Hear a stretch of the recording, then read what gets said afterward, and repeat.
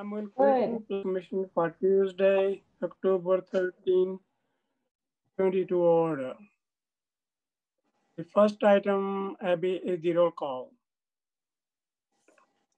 Yep, and I have Brar, Murray, Paulson, Ramsey, Slavish, and Tyson as present.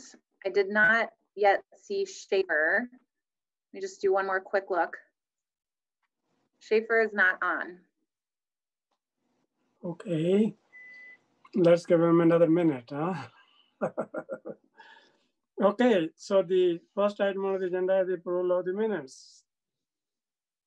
And uh, I have a note here that the Commissioner Tyson has requested various changes to the minutes. Um, She has uh, changed to the original document. You want to make that motion with all your changes uh, included? Sure, I make that motion to approve the minutes from the last meeting with the changes as noted. Okay, need a. Uh, I'll sec- second. This is Paulson. Okay, so the motion by Kitty Tyson and second by mm, Kurt Paulson. Okay, all right. Any questions or comments? can I just ask, about the- i- Mhm. Is anyone else having Or audio problems Yes. hearing the mayor? A little bit. Okay. Um, I Oh. just thought it was my machine. Mayor, your, your, your audio is cutting in and out. Okay, so what is, uh, can you hear me now? We can now, yes. Yes, Okay, so maybe I need to change the orientation. How about now? Is it even better or about the same? It's about the same. It might have just been a, a, a internet glitch, but we, we can hear you now. Thanks. Okay, all right. Okay, any other questions or comments? I will try to stay close to the iPad, so. Okay, all those in favor of approving the minutes, say aye. Aye. Aye. Anyone opposed? So Abby, do you know if uh, mm, John is there yet or not? I don't see John Schaefer. Hmm. Okay. Well, that's how it is, so. Okay, all right. We Move on to the. That is the design review for downtown entryway mural at Roman Candle, nineteen twenty Parmenter Street. Abby? Yes, um, if Daphne just wants to scroll to option one, the Arts Committee let, um, met last night to discuss this, and they are recommending option one with a few design modifications. Um, one of them being that rather than just have the single, um, atomic starburst next to the L, they would prefer if there's at least one other one, they were concerned that with the phrase and just having one star, it may appear to be biblical or Oh. religious. Um, and then they also suggested that the muralists look at the downtown Middleton logo. Um, that's the newly approved logo that the DMBA has selected, and it has a series of buildings. And they would like for the the artist to incorporate some aspect of that mural in some artistic way. One idea being that right below the BOR in neighbor, that they might just do the outline of the buildings, um, but they would in some way try to tie the mural more to the whole entire downtown rather than having it look like it's just related to Roman candle. Um, those starburst elements appear in a lot of the Roman candle marketing. So the recommendation from staff is to approve design mockup one with the changes requested by the Arts Committee. So Abby, did they consider putting the city logo anywhere or does anybody think that that's a good idea? I think that the arts committee was hoping to steer away from having any specific logos, which is why they didn't, they didn't recommend the downtown Middleton logo specifically because they want to make sure that it's art and not signage. Okay, There was a conversation about maybe using the city colors, but that didn't end up in the, in the motion. okay, that's all right. Okay, any other quest- questions or comments from the commissioners now? Abby, this is Jen. Do you have, uh, or can someone, uh, share the DMBA series of buildings with us and show us what that looks like? Yes.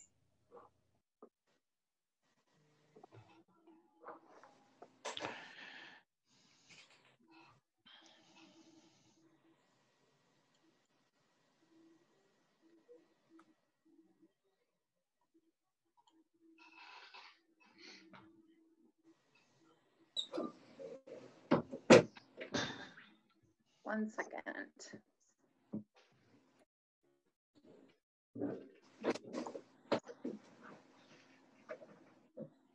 Um, so this is the newly approved Downtown Middleton Business Association logo.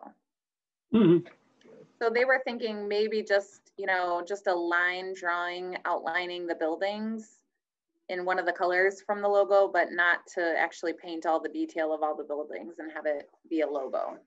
But they also didn't want to dictate what the artists should do. So they were careful to just say, look at this for inspiration and then come back with some ideas for how we can incorporate it. Okay, thank you. Can I ask a question? Yes, Kurt, Um, you know, I'm not an artist and I'm not a good designer, so I'm inclined to support whatever the arts committee says. But in my mind, the term mural is a painting. This is mostly block text with a few embellishments. Um, I mean, I love the sentiment.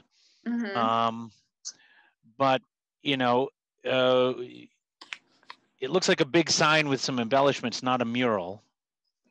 Yeah, there was a discussion about that and the initial cost estimate that we got from Oh Yeah Studio was, um, it included three options and the only one that fell within the city's budget was the option that didn't have really any graphical elements. Um, I think though going in that the arts committee knew that this, this team works on textual phrases. They don't, they don't really do a lot of murals that show a lot of detail or like imagery. Um, I was gonna see if their website, if I could find where we could look at some of their other, maybe it's on their Instagram page. Let me see if that will pull it up. So, um, so here's some other examples. I mean, I guess this one that they did at the Monroe Street Fine Arts Center included people. Um, they did this one on State Street recently about voting. Um, like I said, a lot of them include text. And the concept that fit within the Arts Committee's budget was text only. It's a, it's a really huge wall and the cost is, um, the cost is $5,000 to cover the whole wall. The other option would have been to go with something that had more graphic elements, but that was much, much smaller. Um, and I think that the Arts Committee liked the idea of the impact that one large statement across the wall could make. I think that they also saw an opportunity for people to come down and want to get their picture taken with it, with their friends or neighbors. Um, that's really common. Like for Instagram, people like to, you know, have a photo with a statement. Um, so I think Uh, that I mean, as, as long as the arts committee is okay with it, I don't want to second guess their judgment. Um, it's just, it's not, it's not super compelling to me. Um, But- It's kind of Yeah. like a sign. and yeah, it looks like a sign. we would never find a mural that would be super compelling to everybody. Like we have this with every single project that the arts committee works on where it's pretty split 50 50. Um, we've never, I don't think we've ever had a public art project in Middleton that everyone has embraced. Um, so anyway, I respect and appreciate your comments though. but Abby, it, it does, that is a good point though. I, I don't know if it's already too late in the process. they couldn't add anything to make it artistic. Um, if you want to send it back to the Arts Committee for additional consideration, that's within your purview to do that. Mm. Can I ask why, why is it before Plan Commission for design review if it's not a sign and it's not a structure and it's not a landscape feature? Is there a way that, A commercial building requires design review. So like oh, okay, Club Tavern came, they were just changing the colors and that had to come for design review because it was a commercial structure. okay. So this is considered like a repainting. Yes. for for five thousand dollars. So, well, okay. So, any other questions or comments? It, it does have some artistic features. There's a heart in there, and uh, they're going to add a little bit more. So, I like, this is Jen, I like the idea of the, um, the series, the DMB series outline and adding some elements that, um, set it in the place a little bit more, um, and also provide a little bit of an abstraction so that it isn't, um, maybe as literal as, you know, I think we're kind of talking about here. So I like the idea that they're adding some other elements to it. I support it. It looks, I think all three of them look great, but I do like this one a lot. Yeah, this is a lot more clear. There are two others if you guys want to look at it, but this is uh, CDA recommended this one as well. So, Yeah, I would, I would agree with Jen. I mean, I, I think of the three options. I mean, the other two were nice too, but kind of busy. Um, I thought this was a clear message, simple. Um, I, I like, and, I- and the addition, Abby, that you mentioned, I would certainly be in support of that. Okay. So, Mike, is that your motion then? And Jennifer is going yes, to I'll make- second it. I'll make a motion uh, for approval with the recommendations that Abby made previously. I second. Okay. Uh, motion for approval by Mike Slavish and second by Jennifer. Okay, let the discussion begin now. So if there's a, anything, Abby, you could make it make more like, well, and you know, everybody will still welcome it. Otherwise, uh, all those in favor of the motion to approve, love your neighbor and on this pizza place. So on the wall, say aye. Aye. Aye. I, Anyone opposed? So Abby, yes. I'll, I'll just set. abstain. I'm not, Oh, okay, I'm not all right. inspired. okay, one abstain. Yeah. I- Is John here or not yet? Not yet. Oh, that's interesting. Okay, now we are on to item number two. Set a public hearing for a conditional use permit for Carvajallo, how you pronounce it, two three three two Pinehurst Drive. I move to schedule a public hearing for November 10th at 7:15 PM. Second. Okay. Ramsey. Okay, motion by Kurt Paulson, second by Dan Ramsey. Okay, any questions or comments? Otherwise, Yeah. all those in, Mhm. Abby, Mark, we didn't, we did not have anything in our packet about what this would look like, right? It's just reusing, it, it's just the use of, within an existing building, so there's nothing to present at this point, but we will provide you, it- basically what it is, is using a portion, less than half of the building, an existing building, um, for a use that's a conditional use in that district. And the zoning there is industrial or B3? Industrial, okay. Industrial. Okay. Any other questions or comments? All those in favor of the motion to set a public hearing for a conditional use permit for two three three two Pinehurst Drive for Carvajals, say aye. Aye. I, I, Anyone opposed? So the motion passes. Okay, now we are on to a big thing here. concept review for NAPA Auto Part 6413 University Avenue. Daphne for Abby. Yeah, Whoever. we can take this. Um, so this is um, Napa Auto Parts. Um, I believe they were at the last meeting as well, um, also for concept review, but they did submit um, some additional changes. And um, the Director of Public Works wanted me to let everyone know that these new plans, the engineering staff haven't completely looked um, through all of them yet. So there, there are still some additional comments that will have to be addressed um, later.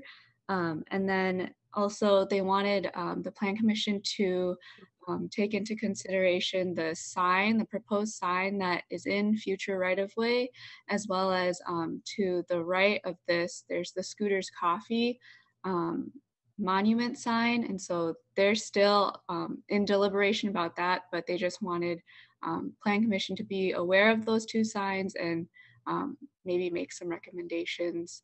Um, maybe not at this one, but at a few in the future um, meetings about this sign. Okay. Daphne, is the, the proposed sign, the only one is to the west of the driveway apron, right? Yes, this this is the Okay. only proposed sign for Napa. Yeah.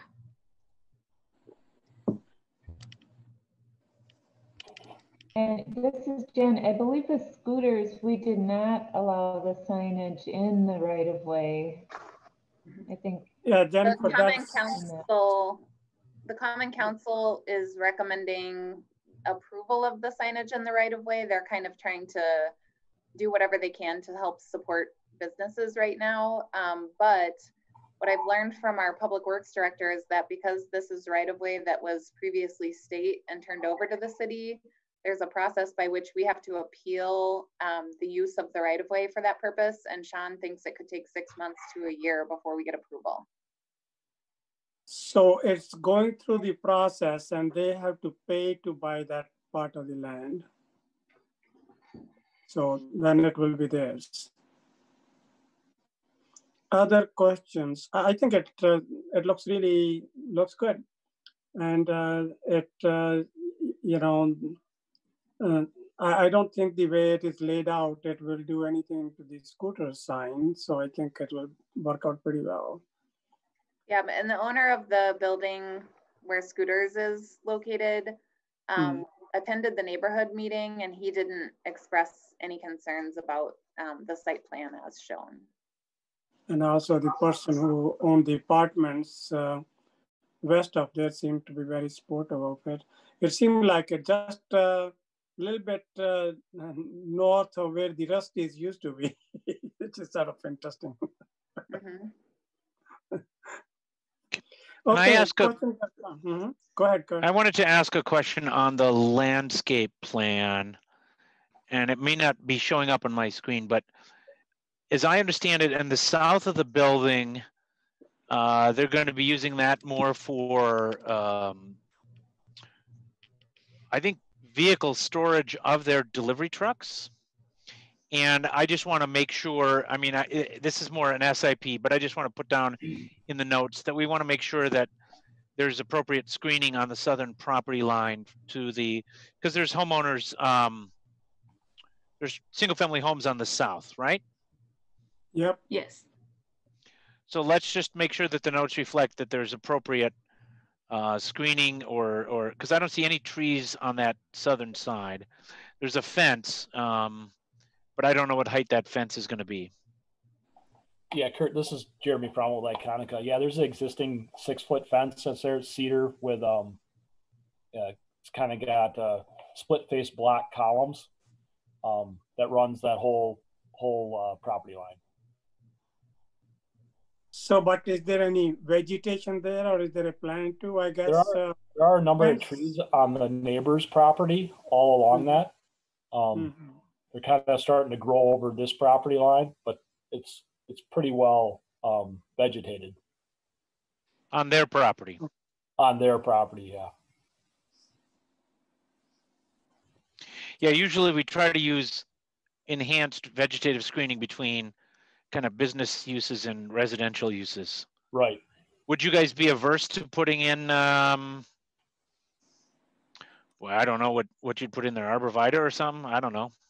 Boy, that's what I was thinking too, so. I I mean, Where, look where's nice. Leaf when we need him? He's a landscape architect. Uh, yeah. Um, well, at the parking lot where between the fence and our, um, curb line, there's like ten inches, twelve inches. There's really nothing to provide any planting, not enough room. Um, I'm talking between the spaces that are south of the building and the south property line. yes. Yep. Just something That's- to consider at the SIP stage. And it would actually be the design. Well, actually, review. there's not an SIP. It's, Yep. it's, it's gonna rezone to, that's right. B2. Thanks. Yeah. It's design review because it's rezoning back to B three, B two. B two. Yeah, I, I- I guess, you know, it's always good things soothing the below the fence. You wanted to look at good in any case. I'm sure you will consider. Yeah. Any other questions? Yes, go ahead. This is Jen. I just want to ensure there's bicycle parking provided in the final. Uh, we did not have any bike parking at this time, but, um, we can look at some locations. Is that something that would be allowed in that right away? Because we're right up against two easements on the, what, University Ave side.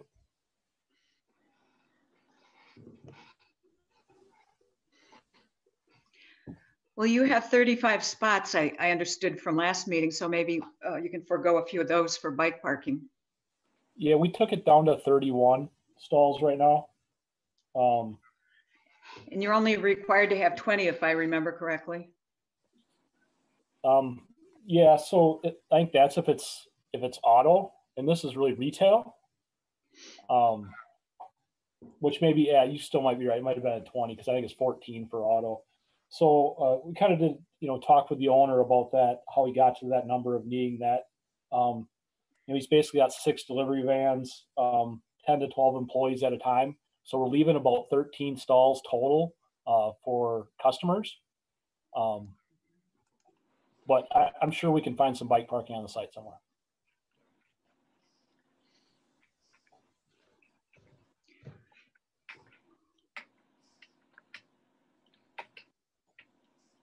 More questions? My biggest concern is the fact that we're moving buildings closer to university again and uh, running driveways off university again, as opposed to trying to find alternative ways to do that, such that we've got um, the businesses and activities facing, not, not facing our, our prime, what do we call it, principal arterial other road, our primary principal arterial road in this town. But perhaps there are other options that could be looked at because when you look at the backside of this, it could be altered to um, eliminate those parking spaces on the south side and, and actually turn it into a, a road back there. So it's possible to change it in the future to make it comply if we were to ever rethink the way we want to handle University Avenue. But that, I think, is another question for another meeting or another topic. Okay. Abby, can, and- can I follow up with that? Um, Yes. Abby, is this building, is this building further back from the street than what the uh, approved um, Commonwealth uh, apartment building was? I thought that was a I- little even closer to the street. I don't think think so, but I am not sure. I could try to pull it up quickly. It's, don't worry, I took a think, note- I, I had a note from a previous, uh, the previous time, uh, I looked at this and it was twenty-eight foot setback. from the street or from the right of way? Well, there, that says twenty-six and that's from the property line, so. I think it's reasonably comparable uh, to what Okay. Univer- um, University Flats was. That's the name of it. Okay, I mean, I, I had the opposite view, I think, of Commissioner Tyson, which is it seems to be another auto-oriented strip use where the building is oriented to the parking lot rather than the street, but that's just a different design approach of what we think University Avenue should be in, in 10 or 20 years from now. So it's not, it's not anything that we would um, think about in terms of this review. That's where a University Avenue corridor plan would be helpful. Which I know is in the budget Yes. for next year. Yep. well, we had that build plan and you're going to start from there, Abby, right? Um, well, we have funds in the budget to kind of start from scratch with the planning process because that unit, that build plan now is ten plus years old. So I think we have to start over. okay, yeah, that's fine. Still, it's something to start with, so.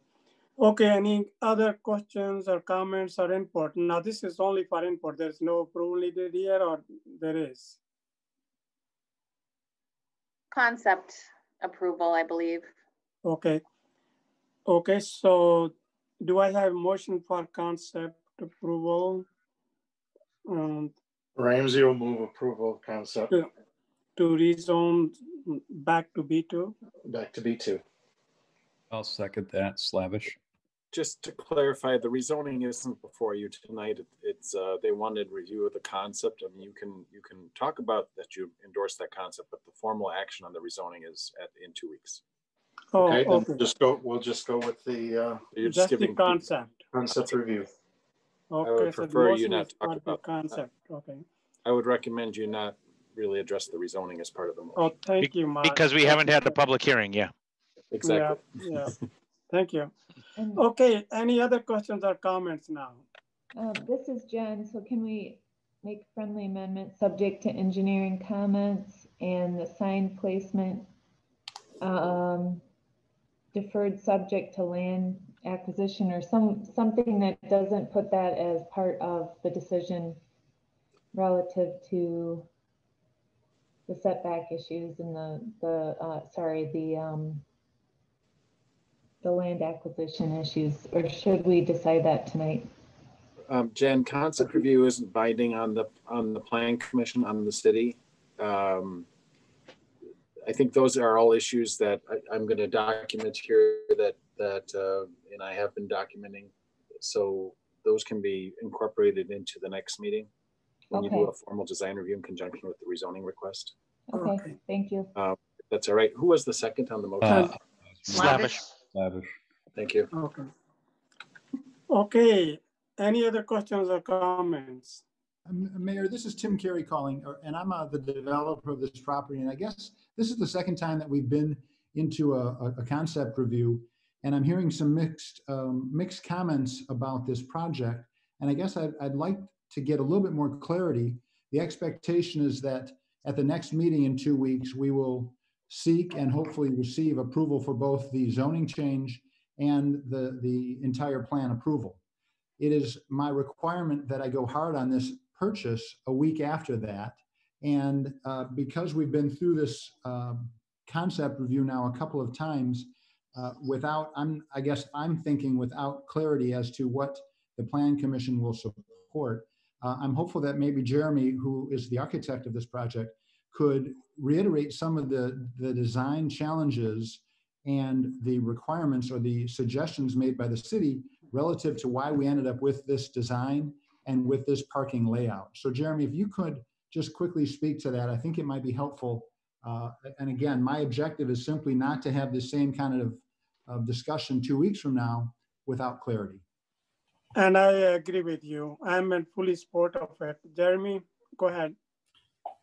Yeah, Abby, could you go back to um, just that first site plan that just like two pages up, I think? Might show that easement a little better. So some things we're taking into consideration is that the storm easement that runs from the south side of the site um, kind of goes off to the east and then right up to um, University Avenue. So that really kind of dictated, you know, how and where we place our building. Um, so we came up with a solution uh, to get it up in the corner. Uh, the front face does face uh, the parking lot, um, but that had a lot to do with um, the internal layout of the building itself. With retail is really on the east half of the building, and their their stock and warehouse is to the west. Um, so that had to do with their operations and wanting people to come in the front door. So if we were to turn the building to the front, then we'd have needed a sidewalk to the front to entry and would have gotten far away from the parking lot. So trying to get the customers close to the front door as possible was a goal of ours. Um, and then to the south of the site, yeah, that is where they do deliveries at night. Um, their delivery vans park there and load during the day, and then they're in and out of the out of the facility. Um, at night, those um, vans will park in the the parking lot up more up front, not to the back. Um, so those are just some of the constraints. We did also want to use it, you know, the the slope the site slopes from um, I'll just call it west to east. Um, so using our stormwater management, we wanted to get it where it is right now. Um, we have to enlarge it, but we're in that uh, in that east corner. Um, so all those kind of played a role into you know how we located the building in in this location. Thank you, Jeremy.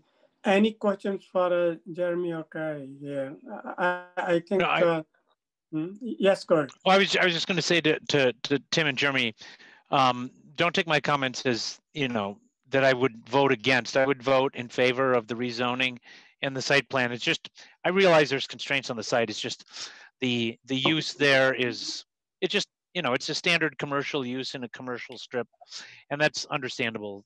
Um, but you should also know that if we uh, recommend approval after the public hearing for rezoning, uh, it would still have to go to council before the rezoning would be effectuated. Thank you, Kurt. Any questions for Kurt or anyone else who has comments? I, I think, uh, you know, the way it's laid out, it's somewhat, well, I, I mean, you know, you want the customers to come over there, park it and go into the business. And that's how it's more convenient. So, and uh, to me, it looks pretty good. So any question, Kitty, you have some questions or comments? Anyone No, else? no, I, well, the, the one thing I, the comment I made earlier, just related to what happens in the future if we change the way we use University Avenue. And what I was saying is that this layout looks like it's very conducive to a potential change. Okay, That's all. so you. Any questions? Otherwise, uh, the motion was made by Alder Dan Ramsey. It is seconded by Mike Slavish. All those in favor of the motion to approve the concept, say Aye. aye. Aye. Anyone opposed? So the motion passes unanimously. Okay, we are on to item number four. Special complaint plan modification, addition to lot ten hangar at two three, three three one zero Bravo Lane. Mayor, this one's mine. Mike, Mark? Patrick Egan, uh, the applicant, and Gary Buns, the owner, are both uh, Mhm. present. I did forward to you this afternoon a revised staff recommendation, um, and I'll quickly read that. Uh, This is just for context. This, again, is the um, addition would be on the north side of one of the multi-tenant hangar buildings, uh, so it's not visible from the road. It faces the runway. Um, The uh, revised staff recommendation is to uh, recommend approval as a minor modification of the airport SIP contingent on the council approval of the revised hangar land lease agreement. That includes the building and expanded parking area. The use of amended, and so that's the first one. The second one is the use of amended engineered soil, two feet in depth and occupying roughly twenty-five percent of the building footprint around the relocated stormwater inlet with coverage by low-profile native plants that are not a wildlife attractant. And third, resolution of engineering or fire department staff comments, because there's a hydrant being relocated and we want to make sure that that um, meshes with, with their concerns, that that complies with their uh, requirements. Well, So I, that's the, Uh, That'll be my motion since you just read it. well, I would add the fourth one, that is, uh, this is subject to city attorney's approval. And uh, yeah, Mike and I had good discussion, so it is uh, going to have to go to Larry. Because So- of the land lease, for what reason, Mayor? Yeah, for land lease, there are four tenants or four or five, whatever number of tenants are there.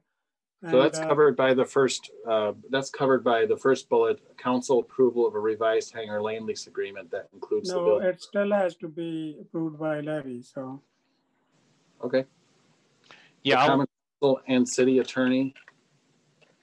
Attorney approval. approval. Yes, I mean, I presume the council wouldn't approve it without the attorney's approval anyway, but well, anyway, I would That's want that to be part of it, so. sure. So, yes, So that's Okay, my motion by- yeah. third, okay, and Kitty, you are making a second or who's? uh, No, I'm, I wanted to ask a Or or question. you have a question? Okay, is there a second? Ramsey a second. Okay, motion by Kurt Paulson, second by Dan Ramsey. Okay, Kitty, what? Um, I'm, I'm looking, I had looked through the materials we received before and I was looking for a, an architect and I don't see it. So I'm, I'm asking if the building inspector has taken a look at this because adding office type space, unless it's just, um, what's, what's the term, Kurt? Um, not incidental, but uh, Ancillary or uh, the same. auxiliary, auxiliary. accessory, accessory? accessory use. The, the question is, it's a, a hangar is typically viewed as a hazardous occupancy and therefore potentially you need a fire rated wall to separate the ancillary use or not. I don't know that in, in this particular building type. And I would want to have our building inspector check that to make sure we're on the up and up.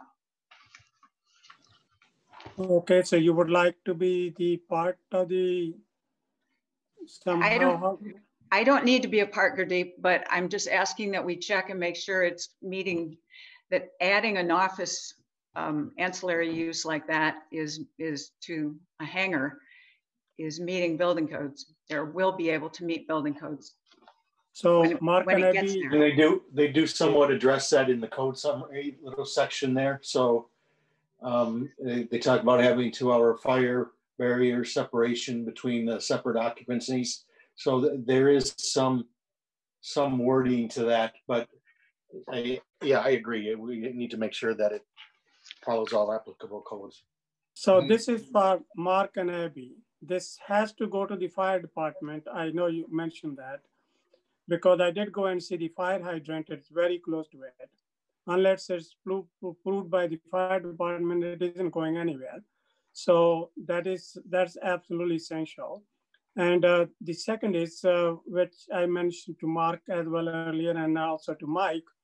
So there are several tenants on this one. I don't know who the owner is and uh, so they, they all have to, well, somehow Larry has to prove it. I don't know what is the situation here. I mean, are they going to be all owners of this or there's only one person who is the owner of this part or what is uh, the situation here? But those other people, you know, they have to agree to it. It's uh, can't be just a unilateral decision by one person in the corner there. Mayor, the architect and the owner are both on the call and could, I'm sure, answer those questions about building code and ownership. Yeah, this is Patrick Egan. I'm the architect. I'd be happy to uh, kind of respond to um, Ms. Tyson's question. Um, Yes, you're absolutely right. There's the uh, uh, the accessory use uh, limitation of 10% of the building area, uh, which we do fall under. Um, That's where you trigger the separated uses, uh, the fire barriers between the occupied spaces. We do fall under that. Okay, Um, I have full intent, and I've already filled out the forms to send these plans to the city for a full plan review, building plan review. Um, uh, the building itself is sixteen thousand five hundred square feet. The addition uh, outside the building is six hundred and fifty. Uh, the building itself is split in half with a uh, with a fire barrier, and that's that's really driven by uh, fire area limitations based on the construction type. So uh, we've tried to stay within those thresholds to start requiring uh, fire rated assemblies and barriers and to keep it in that auxiliary accessory category. Excellent, excellent, Patrick. I noticed you had a nice fire code or a nice code summary on the first page, and that's always appreciated. Yeah, and then we still, I still need to go through it, tighten it up before I send it to the city, but th- those were the, the due diligence things that we were working through. Um, and, Excellent. and, you know, it plays into the construction type as well, what we're, what we're building it out of. And if you do require a fire rated wall separating the two, you will provide it as required, no doubt. Absolutely. Good. So Patrick, while you're there, so uh, I asked Mark, what is the width and height and uh, breadth of this? What are the dimensions of this building? Sure. So, Just the addition. sure. So the, the hangar itself, No, I'm just only, only talking about the, what you are adding to it, only that. yeah, I was just going to give it to you for context. Um, Okay, But so the hangar itself is 60 feet wide, um, Mhm. and it's it's 18 feet tall. The proposed Okay. addition is 36 feet wide, and it'll be uh, 10 feet tall uh, back at the door. Actually, it'd be just under 10 feet because we have some sloping, so it's really more like nine and a half. And it's it projects out from the building 18 feet 8 inches. So in this image that you see, it's that that two-toned uh, color. The colors are a little wonky because of the printing, but it's that that tan color actually matches the existing building, okay. and then it'll just So- have a blue accent on the bottom. So 36 feet wide, eight feet and eight inches, uh, um, well, 36 feet long, eight feet and Correct. eight inches wide and 10 feet tall, right? Correct. Okay. Okay, all right. Yeah, I did look through your graphics. Uh, you know, I did try to magnify it, but there's, anyway. And so, any other questions for Patrick or uh, anyone else? I do have one comment, Mr. Mayor, if, uh, So now I did. if I can get in here. Mm-hmm. This is Gary Buns, uh, Sure, go ahead. property. Hi there. Um, Mm-hmm. I think you asked about the other owners. Um, I've not only spoken Yep. with the other owners, I just compiled a list of, and this is by far not a complete list of all the people I've spoken to, because I actually proposed this project about two and a half years ago. And um, Mm-hmm. due to health reasons of the person, which is probably the main reason I'm doing this, um, I we weren't able to move forward at that time, but we are now. And over that period of time, those two and a half years, I've spoken with virtually everyone on, not quite, but virtually everyone on Taxiway Alpha, Taxiway Bravo, all the way down to the far end of the airport, um, and including people that work at Morey Airport, and including the gentleman that I would say predominantly takes care of the snow plowing and um, uh, and the and the mowing. And regarding snow plowing, it will make zero effect for him. Um, but as far as the mowing goes, he feels the way they have this uh, graveled or landscaped, it's actually going to be a lot quicker for him and a lot easier for him. And that's uh, Greg Zelnick that takes care of it for Morey Airport, works for Morey Airport. Um, of everybody I've talked to, and that's in excess of the 27 that I have just put down on the list, I have yet to, including the people that I own that building with, I have yet to run into any opposition whatsoever. Um, I've had some good questions like, why are you doing it? Or, um, you know, will you do this or this? But um, I've had zero opposition um, with everyone I've spoken to. So why are you doing it? Let's say, what was your Great que- answer? and, and that, it's a great question. And I'm going to go back to exactly what I said um, uh, in February at the airport meeting. Um, I, my partner in the plane is, he's an elder gentleman, he's 83 years old. Um, due to his mental sanctity and probably a little bit the relationship with his wife, he wants to get out of the office every day like he has for the past 60 plus years and or get out of the home every day like he has for the last 60 years.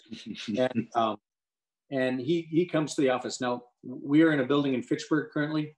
He Mhm. lives over in Westport, Um, at 83 years old, he's got to do the belt line every single day. And um, I think he's at a point in life where it's not adding life to his life. It's actually starting to take away a little bit. And uh, um, as much as I do, even more so with his wife and his family, they worry about him. So um, a couple years ago, I came up with the idea that uh, if it would be possible to add a very small, you know, it's really essentially a tool shed that we're going to put desks in. It's a small, small area, 670 square feet, but um, a small office off the hangar, someplace he really loves. He's passionate about it. He is a rather inactive pilot, and um, um, he literally can pull out of his driveway, turn left, and drive into the airport grounds several miles down the road. So um, uh, it's it was highly motivated by um, getting him uh, off the belt line and an easier view for him to get, or easier way for him to get to the office. Um, he he's very very active in that. I would say last week, for example, he beat me to the office three out of the five days, and that's probably common. So, and he he's 83 and you are not quite there yet, right? I am a long, yeah, yeah. Well, some days I feel that way, but I'm a long way from it. But my, my hat's off to him. So that was the motivation behind it. But we were both very, very passionate about um, about what we do the airport, why we use it, and uh, I just think it would be a great fit if we can get it done. And I also think it would be extremely uh, an extremely good fit for him as well. Well, it's good it has a deck at the top so he can sit, well, probably will spend when it's not nice weather on the top rather than inside, hopefully. So I hope that's the case. so you do know that there are other, well, I mean, I did go and visit the site and I also talked to the others that uh, the all other people they have their offices indoor and considering what you're telling that say you're helping out uh, 83 year old gentleman that they sound like a you know it looks nice too so but it is outside of the hangar so. Yeah. Anyway other questions either for patrick or gary or any or abby or mark? Okay? yes Yes, the only thing I might add is um, rather than extend the entire hangar, which um, would have been cost prohibitive for us, that's why we kind of added on that little centerpiece. Um, uh, it's a very inexpensive way to try and accomplish um, what we were after, if it makes sense. Yeah, I was wondering yesterday, are you going to go the whole length or a part of it? So yeah, makes sense. So yeah. Okay, if there are no more questions, uh, so this is the SIP approval with all those four conditions. All those in favor of the motion say aye. Aye. Aye. Aye. Anyone opposed?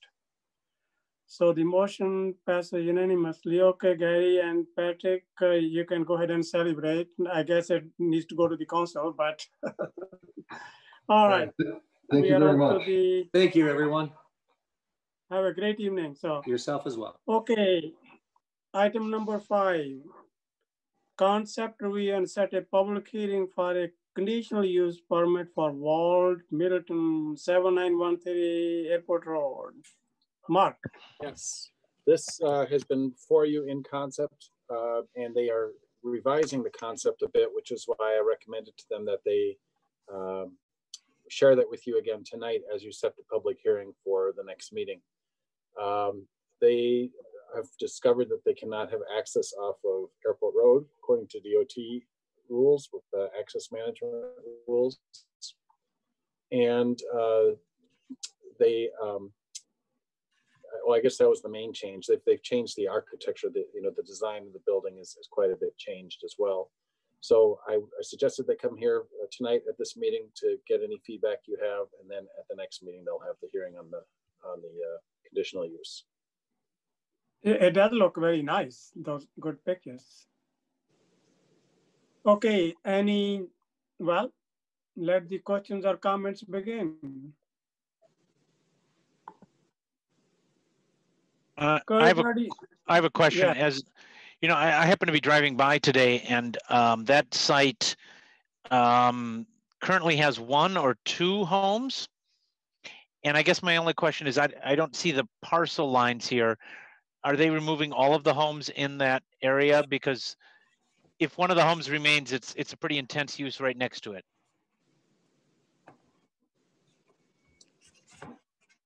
Um, It doesn't look like it on Uh, the We are site. not, we are not removing any homes.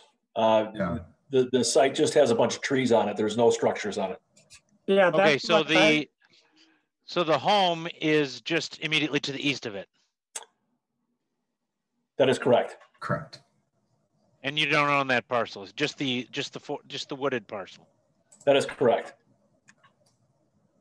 Yeah, that's what I thought. This was the wooded parcel. There's a lab to the Right. east of it, which uh, are doing the plant tissue culture, and then this one here. So, okay, well, good question, Kurt. So, Can I add to and, the uh, answer? okay. Or may I, And- and may or another may I add to the answer? Uh, Right. this whole area, the entire Yes. block, the entire block is zoned B three, just for. Right, right, right, yeah. okay, okay, okay. Well, so we need to. So need a motion to schedule the hearing on Tuesday, November tenth at seven oh five PM. Yeah. And then Mm-hmm. um, the other question is, did you, you know, have any comments on the elevations uh, so that, you know, to try and forestall any issues that might come up uh, in two weeks? That- So I'm Okay. suggesting that they, that you pro- Yes. provide feedback. Any other? And the height, Mark, the height is Kitty, within, something here now. Is it within the zone? Is the height within the zoning? Yeah. it- Uh, What was the height of the oh, building? ab- Absolutely, yes. I'm sure it's under 35 feet. They can, they can answer Yeah. that. Yes, Yeah. it is. It's on the on the low side, it's 25 feet, Good question. and 26 on the high side. Any other questions? I think these buildings, the way they are designed, from what I what I see, the if uh, the building looks like what the rendering is, that actually looks nice. So can't complain. For for storing the cars, of course, these are expensive cars. It's gotta look nice. Those cars will be very well. I guess there's no happiness in the cars. They will be well kept there. Well, any other questions or comments? So, well, okay, I I- make a I motion to set the. Would like to ask, just uh, make a comment. I'm, once again, I'm thrilled here with uh, the project data chart on, on uh, page A2. Um, It's great to see that you guys have gone through and have identified fire resistive ratings of zero hours for all of these. Is, how did you conclude that, by the way? That Well, that there's no hazard rating for all these garages? Sure, no, that's a very fair question. And because we are only storing automobiles for personal private use, um, it falls under a low hazard storage occupancy. So virtually any other type of storage occupancy, say it were boats or RVs or commercial style vehicles, we would be required to have a one hour separation. Eric, are you the architect? You're with Yes, I am. Okay. Yep. I've, I've never seen that recorded in any of the um, uh, car storage lot or car storage business or whatever. Which is why I'm asking. I've just never seen it listed, so I don't know how you would interpret that. But it, it sounds logical and I'm, I, I have no reason to debate it. Um, it looks like there's just one door, one car door, as opposed to a people door. I presume you're gonna go through and make all those uh, schematic design changes as you evolve it. Yeah, right now we think with the size of each garage, um, we can we can do that. Um, but we may potentially look at adding a few man doors per unit, depending on how these lease up. Yeah, I, I was of the understanding you always had to have a man door as opposed to just a, a car door in case it stops functioning, but at any rate, that's not the subject of what we're considering right now, and you can deal with that later. yes. That's the design have, issue. a, we have a state review coming up, so um, I'll be sure to double check that certainly. Thanks, Eric. All right, any more questions for Eric? Otherwise, I'm gonna make a motion to set a public hearing for Tuesday, November tenth at seven oh five PM. I need a second. second, Okay, second by Kurt.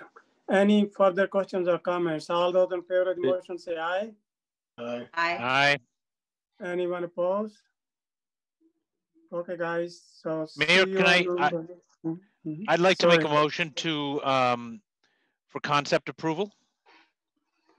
Oh, okay, And I, and I had intended to include that in the uh, recommendation, and I was just going to mention it when you asked for the vote. So I think that. Okay, you all want to. Put that with the previous, or you do? Yeah, just put it with the, yeah, Okay. you can put it with the Okay, previous. le- Let's add to that one, so Okay, it's okay with me. So, okay, let's have a, all those in favor of the motion to set a public meeting and the approval of the concept, say aye. Aye. Aye. Anyone opposed? So the motion passes. All Ma- right, Mayor, the way I'm recording it for the minutes, uh, just so I, we're on the same page, is the motion is to endorse the revised concept and to schedule the hearing for. So that's how the motion will read, if that's what. phenomenal. That's a great way to go, right, Mark. Thank you. Okay, we are on to now the exciting stuff here. Kitty, are you ready? Oh, sure. Thank you. Abby, are you ready?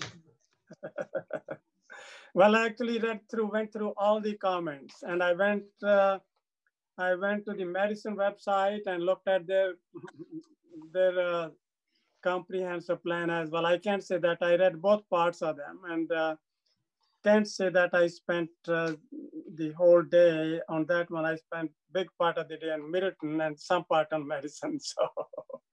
So, okay, so how do we want to handle it? Start with Kitty then? Um, I have a brief presentation, just Yes, going let's start over with Abby. the feedback. Yes, Abby, let's go. Um, okay, hold on, I just need to share screen. All right.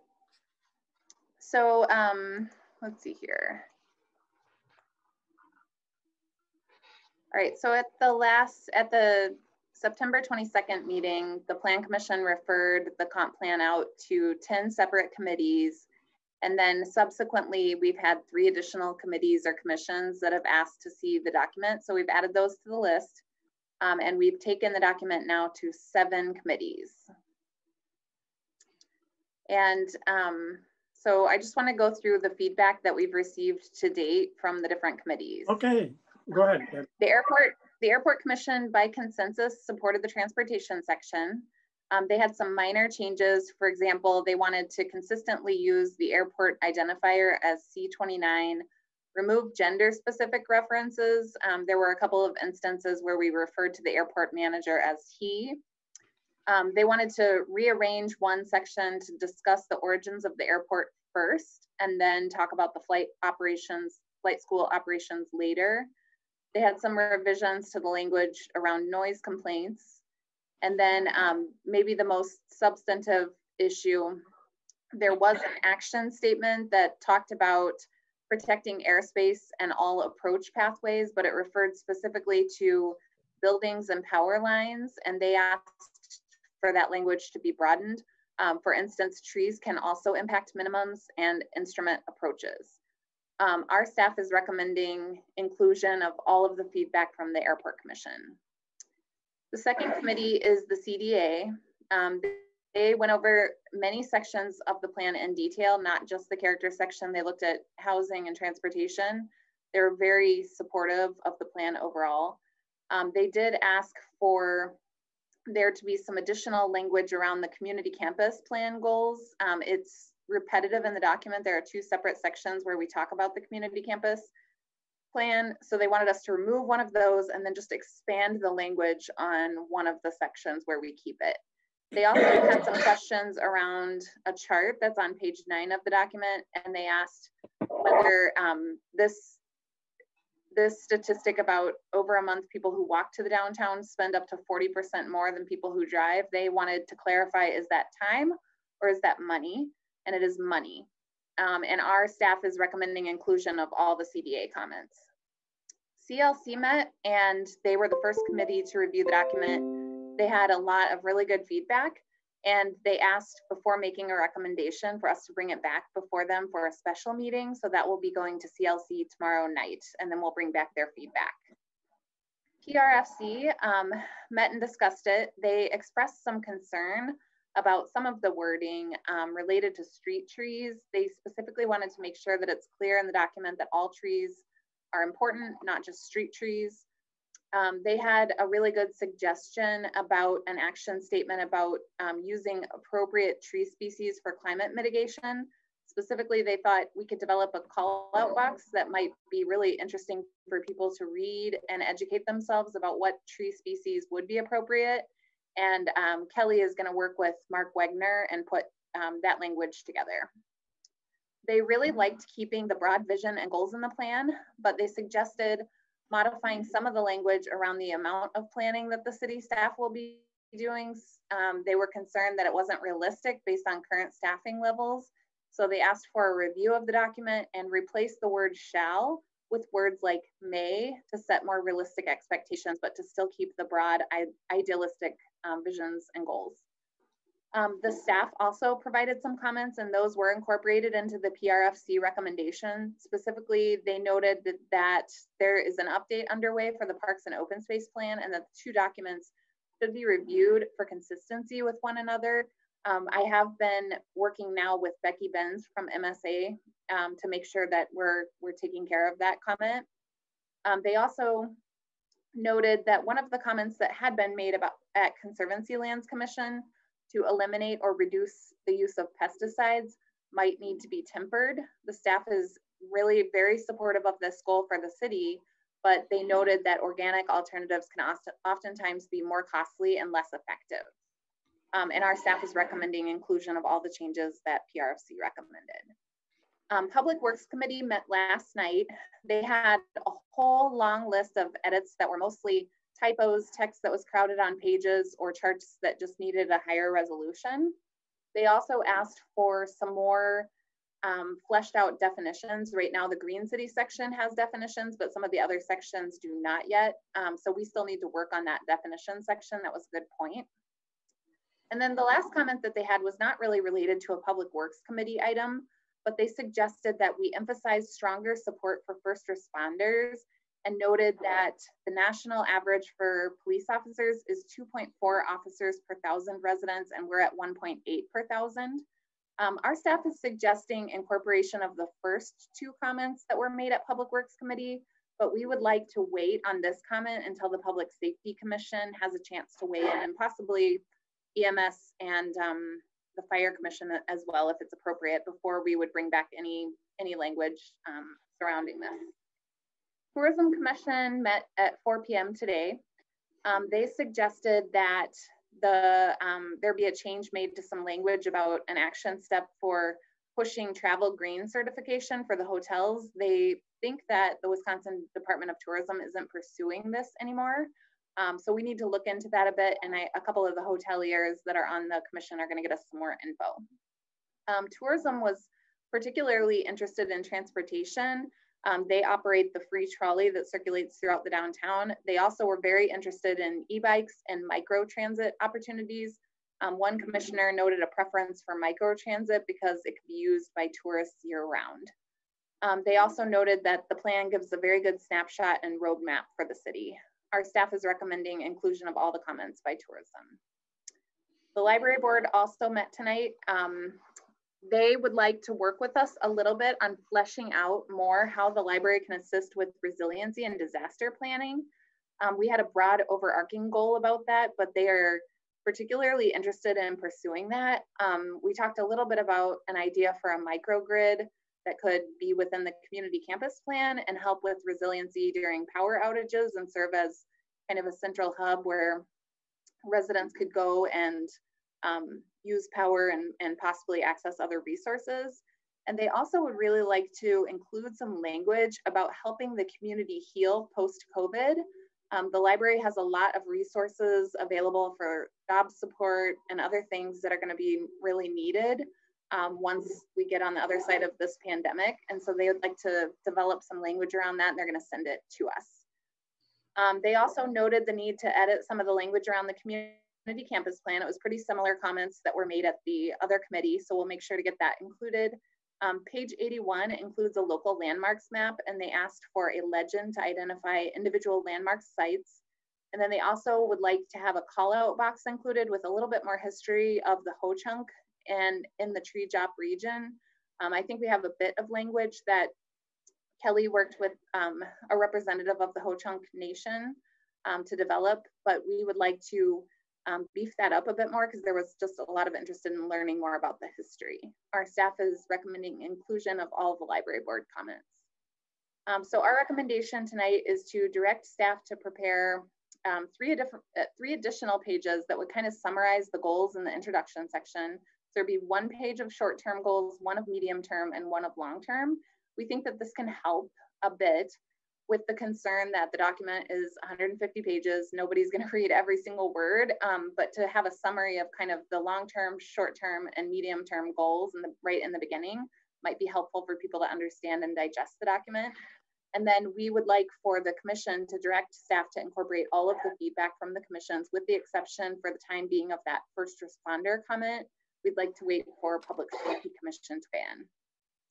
At the 922 meeting, there were a couple of comments that it seemed like the commission was um, gaining support for.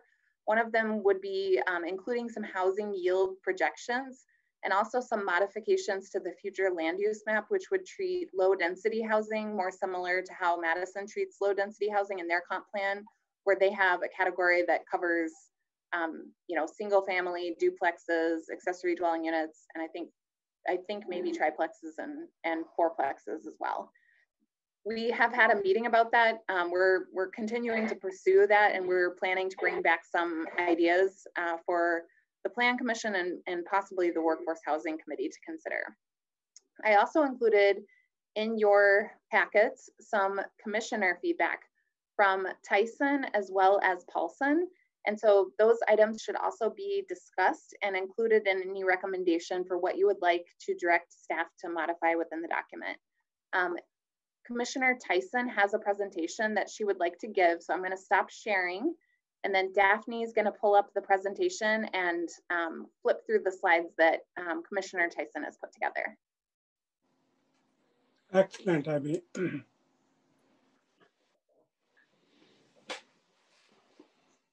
but I can't be on mute. Okay, Daphne, are you ready to roll? think so. Okay. Can you guys see it? Yeah. Yes. Oh, yeah. Beautiful. Beautiful. I Yeah. like those uh, sandhill cranes. I love those sandhill cranes. Me too. Okay, I put together uh, 14 slides that I hope to walk you guys through as briefly as possible to give you a, the context of where I'm coming from on this comprehensive plan. Daphne? The topics I've got, first of all, gives you an overall understanding of uh, where I'm coming from, um, the role of the Plan Commission. Then I've got a, uh, one slide on a matrix I developed to evaluate just the physical plan um, a, a, number of slides, several on transportation, two on land use, one on parklands and green, the green city, one on terminology, and then I've got two on recommendations at the end. Let me try to get through this quick. Um, thank you, Daphne. Um, the, the first one is uh, regarding the role of the planning commissioner. Abby had invited us to attend various classes on the subject of the comprehensive plan and zoning and so forth. And uh, the people who are teaching that are Rebecca Roberts and Lynn Mark Markham from UW Stevens Point. They're outstanding teachers and very clear and simple um, explain it very simply. So it's, I'm enjoying the classes. I've, I've done a lot of planning before and participated. I was an intern for planning department. So this, this isn't totally new, but the, the details of what has happened most recently are particularly interesting. That aside, this, um, this is a, a piece from the handbook that they wrote on the role of the Planning Commission. It's the Plan Commission handbook and they go out and spell what the role is, what we are all supposed to be doing. And basically, the number one and primary function of, of our body is to prepare this comprehensive plan. Now, mind you, the reason I'm boring you with all this is that I joined this planning commission 11 months ago, and the first I've heard of or seen anything about this plan was, um, well, maybe a, more than a month ago because Abby started feeding me with some pieces of some of the, the sections. And then two weeks ago when you guys got a copy of what we were told was the final draft.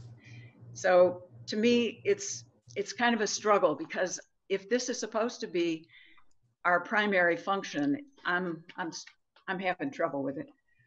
Okay, so that aside, Daphne, the next one. The um, this piece is something I put together. I when I when I sat down, I read through the the pieces that Abby sent me and made some comments, and then I read through the draft we got, and um, was happy to see a few changes, um, but basically had a lot of concerns. One of the biggest issues I I have and I have concern about is the actual plan itself, the physical plan. So what I did was went through and took the um, criteria that people had, the strategies and so on, and started listing the, um, the actual criteria um, on the left-hand side of this, this matrix under the categories that are in the book, including, as you all know, land use, transportation, housing, economic development, et cetera. And I started listing your the, the book's criteria um, and then realized that I really had a lot of trouble with some of those points. So I started making it my own criteria for the purpose of this. And then I went back and evaluated that, that uh, plan and I called it alternative one. And I started uh, listing X's for where I think we're complying with the, the strategies, um, zero for where it doesn't comply, and question marks where I can't tell it's, it's hard to understand whether or not it's complying. Um,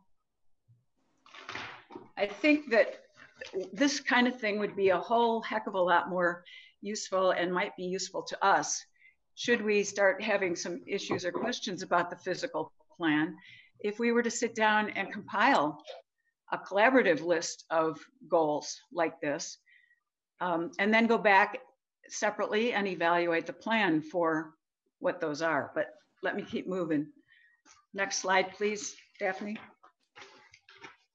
So starting to move into transportation.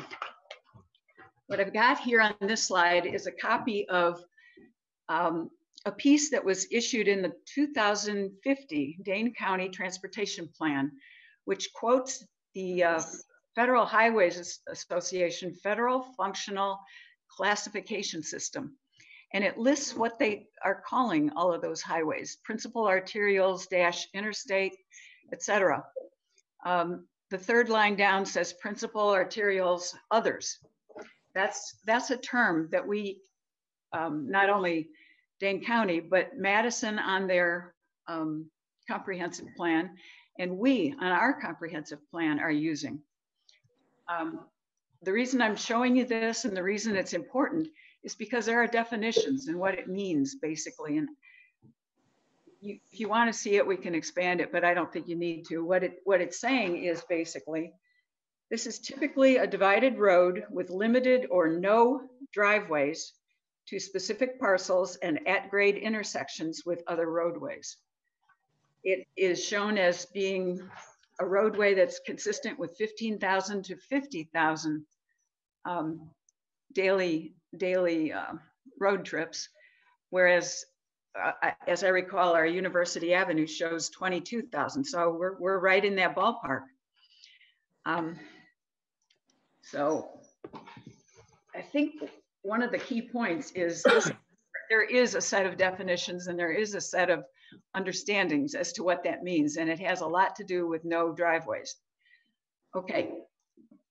Um, Daphne, next one, please. Moving on to the Madison Comprehensive Plan, I copied the Madison plan because as most designers know and understand well, you design well if you fit yourself into the next bigger context. You always need to know how you're going to work with what's adjoining you. Um, Madison also uses those all that same list of definitions. You can see it on as labeled functional classification of roads and you notice in purple, it says principal arterials, other freeways. And if you note on the plan, the purple shade is on Highway 12 wrapping around Madison. On the far right is the blue. That's principal arterials interstate. That's uh, I-9094, of course. But narrowing down to the Middleton area, notice the, the red marks on here that are called principal arterials. That would be principal arterials dash other, but you know, whatever. The, um, that would be only University Avenue extending on to 14. It's showing using Allen Boulevard and it's showing Century Avenue. Now, in the old days, I would have just, just suggested that we only be doing that with, with um, University Avenue because most of the people in, you know, in previous times would be coming in from as far north as Baraboo, where the, where I-9094 separates off, including Sauk City and all the country and surrounds for people coming in to go to school at the university or to go to work at the university or downtown or wherever. Um, they would have to use University Avenue.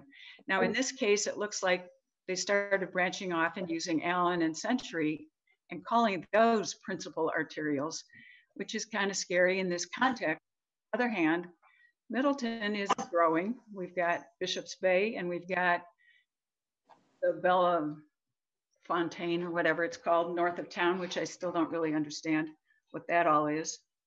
And basically that's, you know, that's what middle or Madison is showing and how we fit in with it. Uh, next slide, please. Likewise, the Madison Comprehensive Plan also shows the, um, the bus rapid transit system that they've been uh, developing. And most recently, and a lot of you may know this, they updated their 2050 bus rapid transit system. And from what I can see, the primary changes have been that they dropped the connection down to Verona. I would assume that relates to the fact that those 11 or 10,000 employees at Epic aren't really using buses, or there are some, I'm sure, or maybe not in sufficient quantity. I don't know. But looking at this, even in the year 2050, Madison is not planning on ever connecting to Middleton with the bus rapid transit system. And you got to wonder why.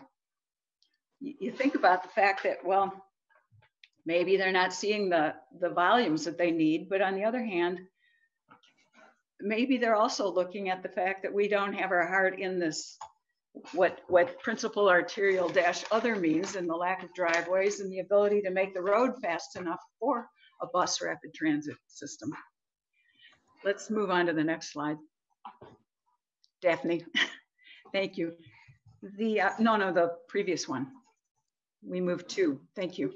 This one is the last transportation one and it's the bike, the bike system again from the Madison Comprehensive Plan and how Middleton fits into it. Um, the green routes are on-street um, bike lanes, and the purple ones are trails, bike trails. Basically, you can see that we've got a whole bunch of trails. Um, let me first say something about the on-street. The um, on-street bike lanes, I personally and I'm sure a lot of you have differing points of view, but I personally have a very hard time with the concept of bike riders on streets. There's no way I'm going on a street with automobiles driving around me. But I got to say that despite what I've heard, I I live right near Gammon Road and I can see I can see traffic moving on it and I have only seen or specifically counted 12 bikers on Gammon Road's bike lanes since it was constructed, and that was a couple of years ago.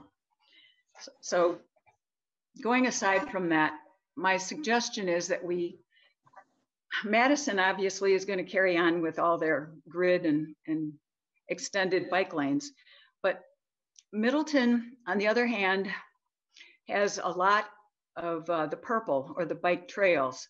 We've put a lot into, and if you, if this um, if the uh, label that says bicycle facilities and, and the tags on it didn't block it, you could see that, that there's a, a purple bike lane showing an existing off-street facility running along Highway 12, as most of you know. That's, that's, uh, that's an exercise type of condition for biking. Um, we've got what I consider to be uh, trails for nat naturists going through Pheasant Branch. You see on, on Middleton, there's lots of different purple trails. Um, what I think is, is the case in Middleton is that commuters would be a lot more challenged in Middleton as a result because the trails that we've got don't aren't aren't fast moving type trails. They're the ones in Pheasant Branch Creek that that the bird watchers really dislike because there's a conflict of speed or lack thereof. Um, what I would love to see, and I see that when we get to the Middleton one, which I'm not showing here, Middleton is showing the potential for connecting a bike trail to this, this one that runs along um, University Avenue and or we're showing it along the railroad tracks, which is wonderful. I, I hope we can do something like that. Having fewer bike trails and focused off-street bike trails may have a lot better results for us getting commuters involved in biking. Oh, okay, moving on to the next one, the future land use map. Okay, trying to transfer the transportation onto the land use map. I look at the principal arterial along the other freeways, Highway 12. And you can see the white blocking out the center of the, the plan. You look at the, the white we've got um, along University Avenue and extending out to 14. And you look at Allen Boulevard on the right side, and you look at Century Avenue. And to be honest, there's there's like zero zero response to the concept of no driveways or or double I'm, I'm losing the terminology, but the double lanes of, of uh, roadways going out on University Avenue. And then if we choose to, which we're saying we are, on Allen Boulevard and Century, because what we do in turn is to run a whole lot of individual land use types that end up having to feed off University Avenue. So we've got driveways all over the place with no ability to ever get a principal arterial other condition here unless we start thinking about the idea of trying to turn some of these functions around and have them face the neighborhood that they're adjoining.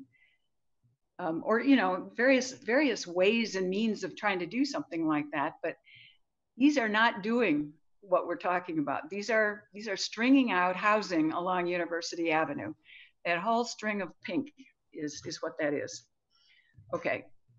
Um, other discussions about focusing retail and commercial at bus stops and then trying to group housing around that is, I'm not seeing that happening here. It doesn't relate to tra transportation is not relating to the plan, which is not relating to the various other functions we're trying to, unless I'm missing something, which is very possible. Um, and my other question is why focus housing on the highways? Okay, next slide, please. Daphne. Thanks. Okay, just a few points relative to our land use plan in addition to this. Um, the concept of City Hall as a focal point, I'd love to, for us to sit down and try to find the right spot for a City Hall as a focal point. Second one is locating the collaborative spaces those, you know, the uh, senior center, the kids center, the library, and it's how it wants to morph into in the future. It'd be great to try to figure out how that relates to our future land use plan. I'd, I'd like to understand the new planned neighborhoods, the things that are going up to the north. I, I don't know much at all about those, and I've not heard any discussion whatsoever in my 11 months here among this group. Um, I'd love to understand whether we've got, we're anywhere near the estimated 4,000 new households we need. You know, if, if we can start to try to put numbers to those. Abby was saying something about that a little while ago. Um, and then can we discuss what these things are and discuss them together? That's something I'd love to be able to see. Daphne, next slide, please. The one slide related that I have here related to the Green City focus. Uh, this this piece was in the plan. It's a, a very old map that I remember from a long time ago when I was on Parks and Rec Commission. But basically it's, it's, uh, it, for example, it doesn't have Bishop's Bay, the Taylor Park in it and some of those. But the context of this thing, I think, is a very important criteria for the green city. And, and what the idea was, in addition to just trying to make sure we keep 25 or 27% of our land dedicated to parkland as we grow and say that more specifically, I'd, I'd also like to see us carry over this concept of trying to make more connections between those. For example, downtown, where we're talking about potentially running a bike trail along the railroad tracks, we have the potential for a park in the parking lot, and there may be other options and other ways of collecting a 10 foot strip from the backside of some of the lots and so on. Just various ways of coming up with these kind of connections if we sat and thought about it for a little bit. Um, show rezone parkland. Um, Daphne, could I get you to go back one? Uh, one question I had on here was on the far right side, I, I understand these parks oh way too well. Lakeview Park is on the right side. It's shown in green. It's um, in sort of the center right side. Thank you. Um, next to it is a yellow block, and next to that is a blue block. The blue block is Sauk Trail Elementary School. The yellow block in between is currently parkland. It's it's what is that? The uh, frisbee golf setup and the drainage. The creek drains into some of the waterways around it have drained into it and has another creek in there and and forest. So since I see that you've changed some other parkland back to parkland on this, that one is staying yellow. So apparently you guys are proposing to change that to single family, blocked in the middle of the park. I just need, wanted to interrupt you really quickly. We are not proposing to change that to single family. Um, we just hadn't heard that comment yet, so we'll be happy to make that change. Okay. All right. And then across the street and down on Allen Boulevard, there's another yellow block on, on a big park that's used for soccer and whatever. I, I you know, in that case, it's actually not a park; it's a development site. But um, the owner of the property is allowing it to be used for soccer fields temporarily, but it is not a park. Ah, okay. So you know, there's a lot of questions that I don't understand, and maybe maybe the rest of you do, but I doubt it because nobody that I'm aware of is talking about it. Um, Daphne, scroll on to the next one, and that yeah, thank you. This is the terminology one. There's some terminology in the in the text that I'm a little concerned about. One is using the terminology flexible zoning laws. Um, I saw that that um, Kurt sent out a note regarding uh, text and he, he made some comments about changing that text and I, I agree with what he had said about it. Basically, I don't have a problem with what you were writing and what you were trying to do, but I've always had a problem with the PDD and the fact that we're up to about a third of the city being PDD now.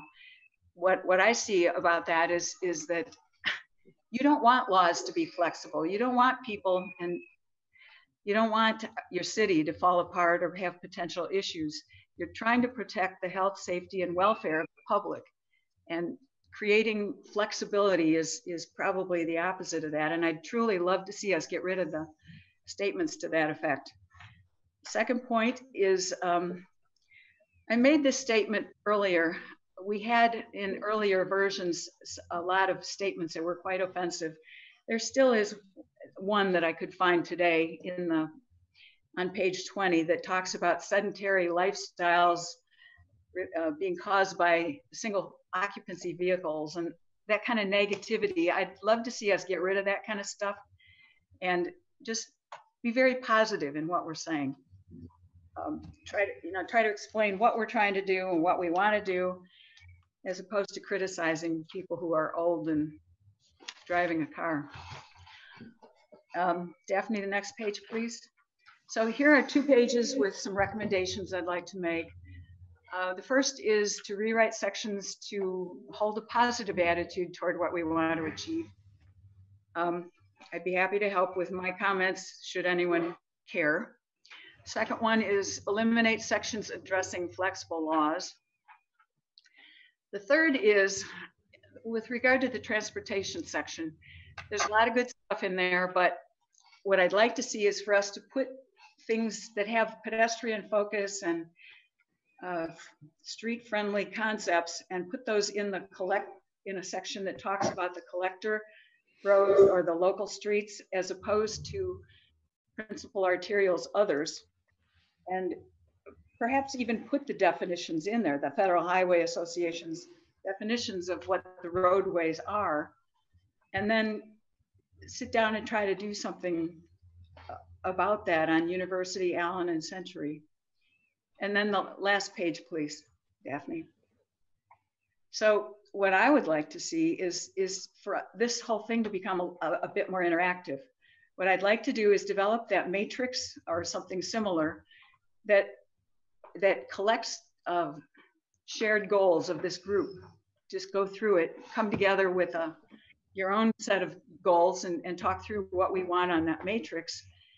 And then have it set up so we can evaluate our physical plan. Because I think we have we have a lot of common goals, but but the book itself covers all kinds of things in addition to just physical plan goals. And I'm just talking here about the physical plan goals. Um, likewise, have another session where we get together just in these our Tuesday night sessions is what I would hope for. Um, and talk about the concepts and the rationale that are in the plan. Maybe there's there's some things that aren't coming through that you know that I'm missing. Um, the third point I make here is I'd love to see plan commissioners bring in ideas for housing. We all live somewhere different in the city, and why not bring in some things that you've seen that might make offer an opportunity for housing? And, you know, some of them may be hard to accomplish and some might not. But I'd like to see us try to collaborate on some of that stuff. And then lastly, um, the matrix again, if, if we get through and decide that the plan is not meeting our needs enough, or maybe, maybe it can just change to, to become better, or maybe we'd rather see a different type of plan or plans. And maybe we can, we can, you know, use the seminars the Tuesday night sessions rather to put that together. And that's my set of recommendations. Well, thank you, Katie. Anyone has question or comments or? Uh...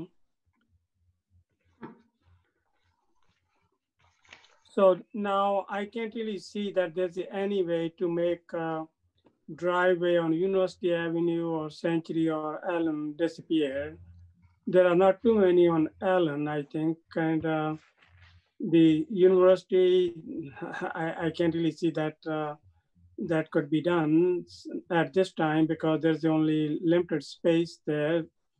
Neither we can, uh, one of the reasons why we can have BRT here is that uh, we can't enlarge University Avenue, and that's one of the reasons. So why couldn't even come over there? It's going to come to Pleasant View Road through Mineral Point there there are some options in any case, but the university, you can't really uh, eliminate the driveways. So, and I don't uh, remember on Century, it's probably the similar situation. So we are sort of constrained by the, you know, what's available to us. So that's the problem. So well, I think I think that the point is that this is the future land use plan, and that it, if you want something to happen, you can start to try to put it into a, a plan that we can aim at. Mayor, um, yeah, but the university, yeah, sorry, University Avenue was completely reconstructed in 2018 and 2019.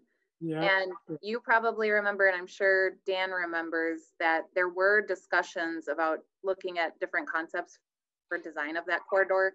Our, our staff actually favored an option that did add medians because we thought that it would be more pedestrian friendly. Um, we mm. also favored trying to eliminate some of the curb cuts if we could. Um, mm. I, I will say that we were vastly outnumbered. The businesses um, came and spoke and um, were pretty compelling in their arguments, and the Common Council voted for a plan that basically rebuilt university exactly as it was um, because that was what was favored by a majority of the people who had businesses along the corridor. And this is a 20 year plan, and I don't think University Avenue is going to get reconstructed in the next 20 years.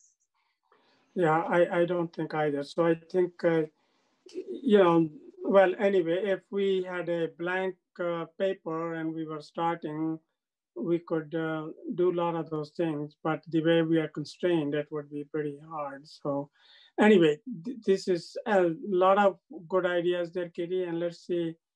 Uh, but I think uh, changing these uh, uh, roads at this stage, uh, you know, would be pretty difficult. So, um, Abby, can I can I ask, when we do a University Avenue corridor plan, will there be an access management component to it?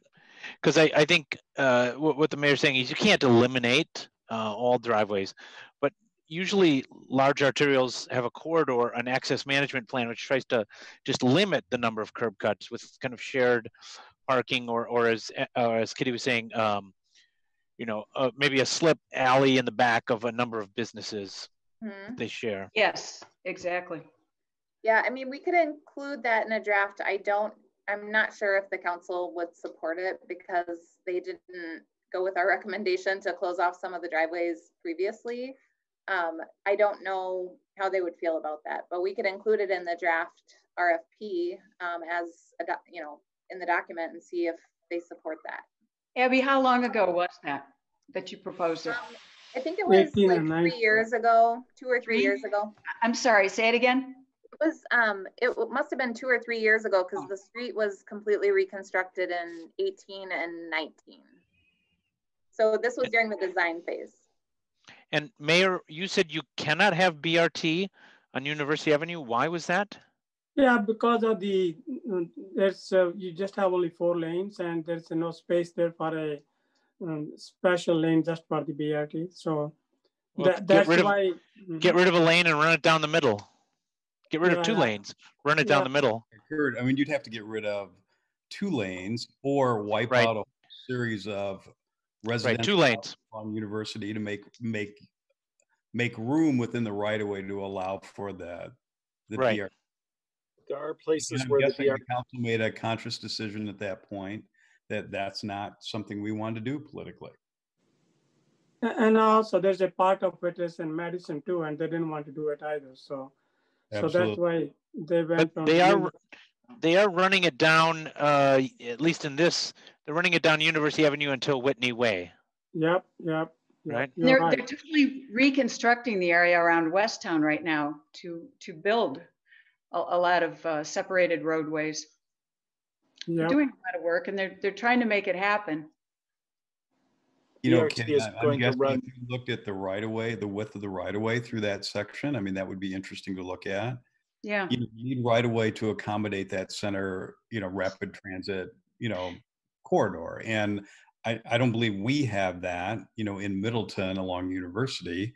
Doesn't mean that we couldn't, you know, acquire additional land, but you're going to require the removal of a lot of those homes.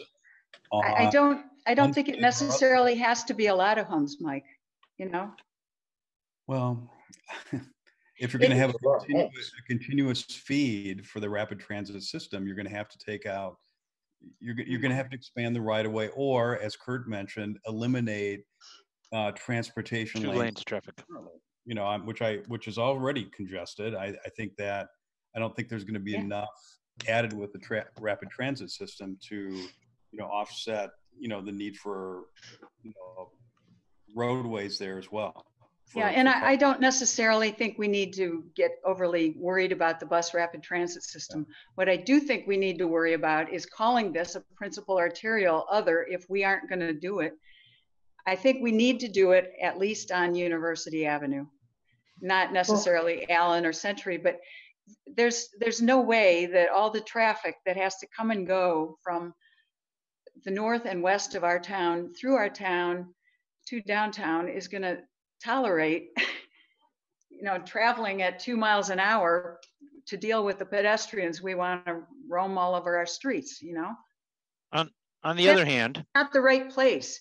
Looking onto a highway is not the right place for pedestrians. And that's what university really is, guys. See, Katie, Yeah, we I'm a talked about, little bit that uh, I am working very hard with the town of Westport, town of Springfield, and with Dane County to make Highway K four lane. We don't want the traffic if they don't need to come to Middleton. We don't want any more traffic coming on Century Avenue.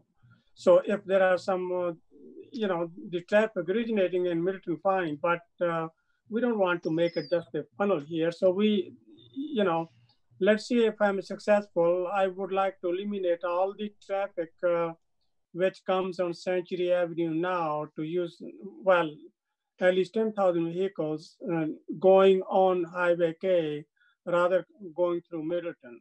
And uh, I don't know, it may not happen tomorrow or day after, but I think uh, long term, that's what has to happen. So, so you're going to send them around the north side of the airport, Gertie? Uh, no, Everything that's coming from no, the north? No, no, it will take Highway K and then up to, then it comes to 12, 12, 14 or 12, 18. And then they go wherever they need to go, so. I um, I just want to say as a design concept that if we're a city committed to sustainability, that our primary design of a street cannot be accommodation of single occupancy vehicles at design speed. That's just an old way of thinking about managing traffic, right? We we hope in the 20 years that they're, you know, gasoline powered automobiles will not be the primary means of urban transportation. They can't be, or the planet Yeah. is dead. So uh, you know, Yeah, I don't, If you I look don't at- if you look at- about cars. I, I agree with you on that too, Kurt. What I'm saying is. We- we all there's a lot agree of on that traffic one, so. That has, there's a lot of traffic that unfortunately we're in the center of. We're right smack dab in the center of a whole lot of traffic. That if what you're really saying is we're, we are an island and we're gonna force you to go around us or around Lake Mendota or around the city of Madison to come up from south to get to downtown or the university, they're gonna hate us. You no, know? we're gonna we're gonna build the density near transit so that people don't even have to drive.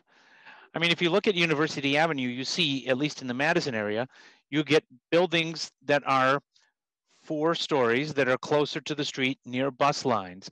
And that development is slowly marching its way towards Middleton. And um, you're arguing that that's not what we want. If what No, if I'm that's not. what I hear you. I'm not at all. I'm That's, saying. it's housing. It's Yeah, housing you- right next to the highway. It's housing that doesn't have to look at the highway. It can be, you can put all the retail and commercial and whatever around the node, the bus stop node, and put the, put the housing outside of that. Looking at something decent instead of the highway. We've got a lot of capability of doing that with our twenty-five percent green, green space, you know? we don't have to jump on the bandwagon, the, the four-story bandwagon and string the housing along highways. That's, you know, that's, maybe that's a thing right now that's going on with the 30 and 40 year olds here, but I'm not buying it. I, I think that would be a miserable way to live. And we don't look at, want to live that way. Kitty and Kurt, let's look at the future. Where is the future going? Digital technology. You are going, to, there is going to be a lot more remote working. There's going to be a lot more zooming and there's going to be less and less of, uh, hopefully less and less people driving using cars. It's going to change. It is going to change, absolutely. And, uh, you know, I like his idea that maybe having some kind of a retail outlets next to the road and then the tall buildings right behind it. That's not a bad idea, but where is it going to get the retail? you, you can see what's happening to the retail there now, right? So are you going to bring the, have the little Amazons all along here? Well, and along Shopify or- University Avenue, the lots are really quite narrow. So, I mean, there's not really even room for an adequate terrace on most of University. And so I don't think you would get two buildings on University. That's not realistic. Yeah, I think you may be right. So I, I remember when we came in 82, the university wasn't even, I don't know if it was four lane. Uh, Kitty, I don't know when, when you came. So, so, so it was, uh, you know, nice sleepy town. so, so, so I, I, I don't remember if even if there was a stop sign at uh, maybe I, I just had a one stop sign going to my my work, uh, and that was on University and uh, Parmenter. Even if that, I don't remember it. So, so lot has changed, and a lot is going to change now. It's going to go in the different direction. I think uh, that is bound to happen with the new digital technologies in any case, I have some thoughts for uh, Abby that, uh, you know, you always have to think what's the most important, where is the future, that the green city. I will put in the early part, green city, and, uh, and that's where you want the action to be. And whatever you think is the most important to you and for the future of the city, that should come, that should come in the early part of your document. And uh, other is just, you know, you got on page four that duplications, governance, and other stuff two times that can be deleted. And there's a land use twice. And uh, mm, and about the, uh, Kitty, you had a question about the bike path going along the railroad tracks.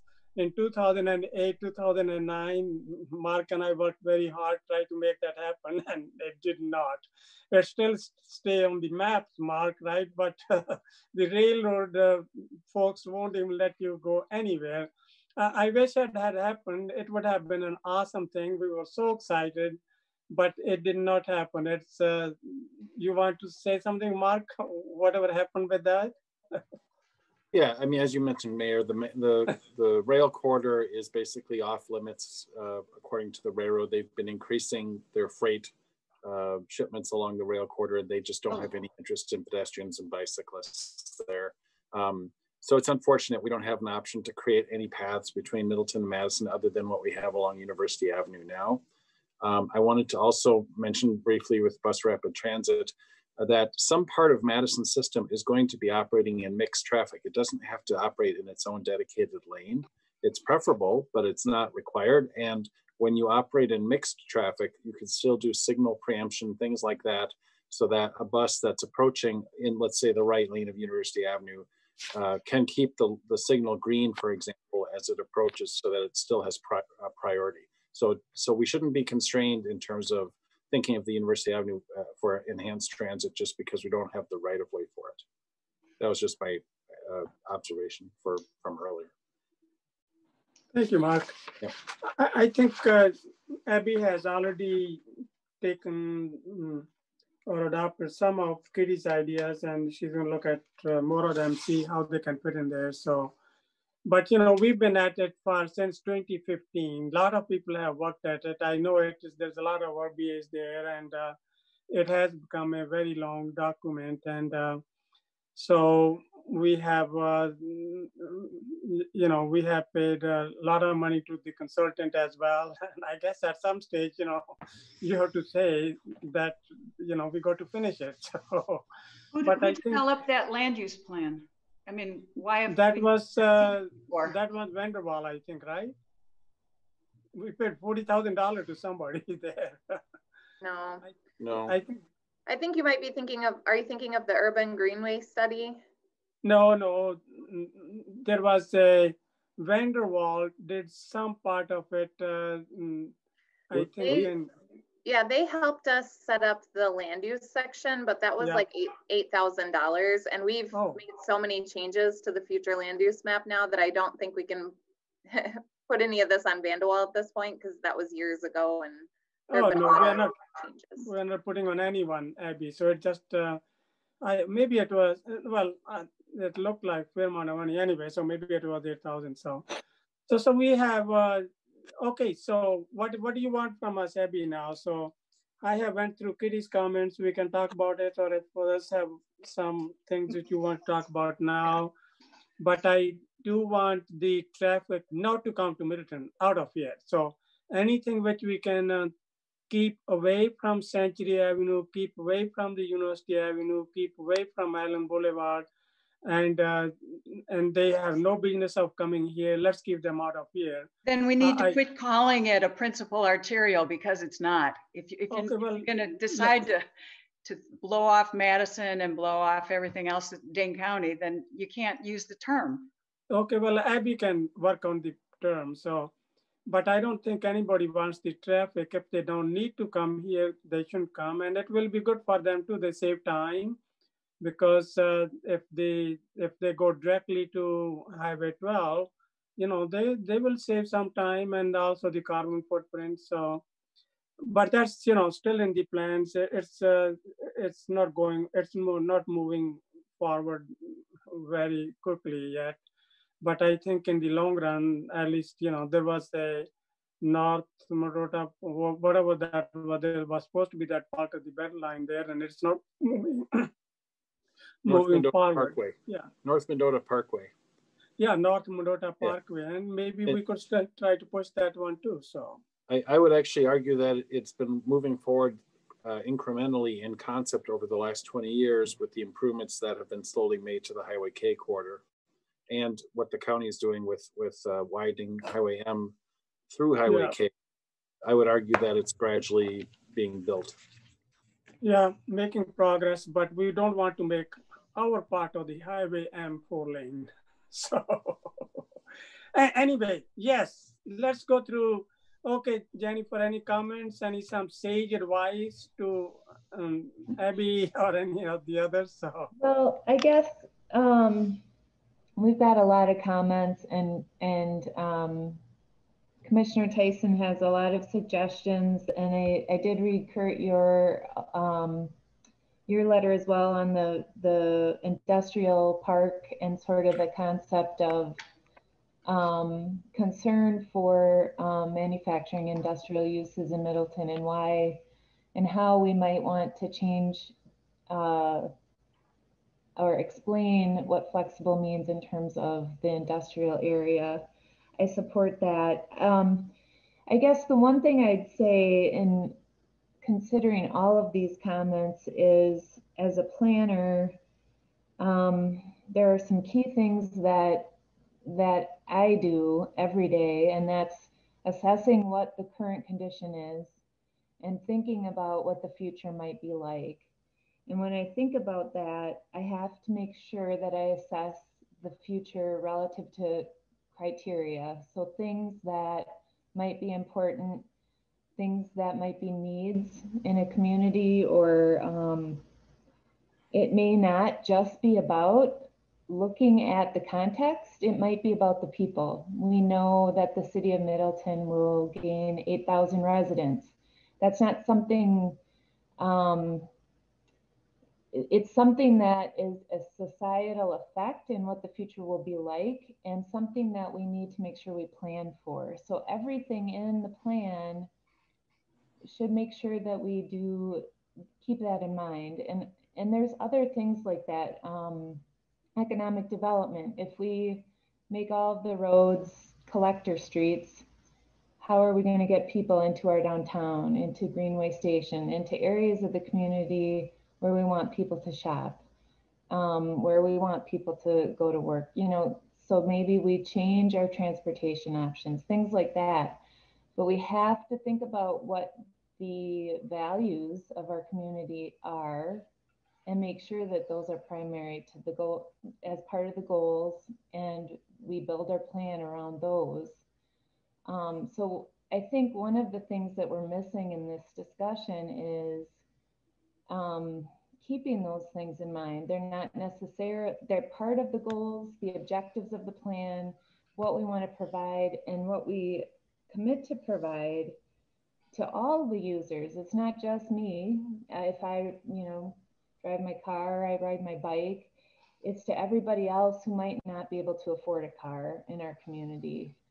Um, you know, it's to everybody who lives here. And and we also have to make sure our plan is cognizant of the fact that we do have commuters going through our community. That's just part of where we're located in this region. And what does that mean to us as a community? What does that mean to the plan? Um, those are some of the things that I think this commission needs to talk about more than, and including some of the concepts we're talking about now, but um, you know, trying to put those things in context will really help us make some of those decisions about what we really want. Um, so those are some things that I would advise in terms of, you know, looking at our goals, finding what we value as community. If we're going to be a good neighbor and we're putting it on the side of a building, what does that mean, right? Um, things about our community that are important to all of us. Those are the things that are important, and um, it comes through in how we plan. So, um, in a practical way, there's lots of specifics in all these comments, and I, I think I, you know, I accept the recommendations, and I'd like to, you know, direct the staff to incorporate them all except that first responder. I don't know how we're going to work as a commission to resolve some of the intricacies of the definitions.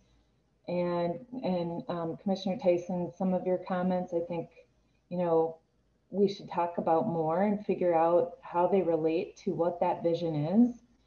Um, I just don't know. Um, I guess I'd be looking toward planning staff, Abby, Daphne, Mark, um, Kelly, you know, trying to figure out how we have those conversations about our values, maybe using what's coming from the committees and making sure that those goals and um, objectives from them are primary to some of that decision making. I don't know. That'd be my suggestion. Boy, a lot of wisdom there. So Kurt, I see your picture there on next. So all right, you go ahead now. Any wisdom, what you want to share? What do you want to oh. give it to our planning planning department? I or I think I've already said it. Okay, all right. Okay, mm, that's Mike, Mike Slavish. Uh, I'll try. I'll try to be brief, Mayor. Um, you know, obviously, we as individuals all have strong opinions about, you know, what we want for our community. You know, I tend to defer largely to staff with Abby, Mark, Daphne. You know, you guys have been working on this for a lot of years. I mean, what did you say, Mayor? Since 2015. Yep and as well as soliciting input from at least 10 committees, maybe now adding three more. And I think we need to, you know, I think we need to rely on the process, rely on the professionals that are managing this. Um, there are a lot of things, Kitty, to your point. You know, I, I travel to downtown Madison every single day and back. And yes, I'm, it's been great during COVID because there's not been a lot of traffic but you know normally it is it is gridlock. There there are some there's clearly some validity in some of the concerns that you have.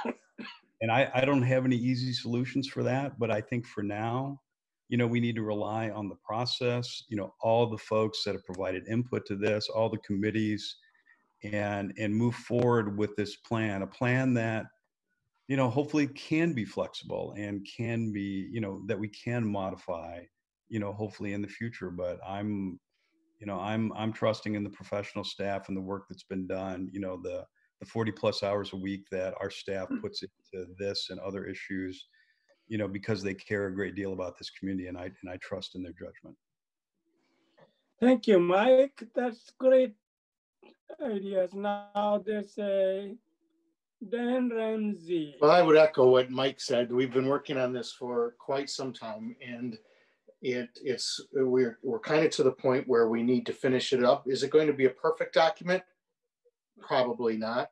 Is it going to encapsulate everything? Probably not. But it's been a document that has gotten a great deal of input, like Mike said, from a great deal of great number of people. Um, and so I think that it, it's time we kind of try to move forward, put it together.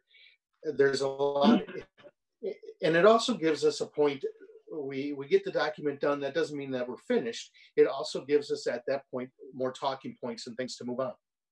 One of the things that's been uh, mentioned before kurt mentioned it tonight and i've talked about it before is the uh, the importance of having a university avenue corridor plan.